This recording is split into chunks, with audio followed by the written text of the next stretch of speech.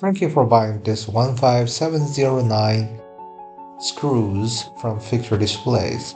There are 25 come to a packet and this is M10 screws. Uh, the drive or screwdriver is M8 Allen wrench or hex wrench. This is detailed dimensions. Uh, it is metric. We gave you some inches just to give better references. Also sell matching nuts. Uh, part number is 15709-nut. Any questions, email us cs charlie sam at fixture displays. Thank you once again for shopping Fixture Displays.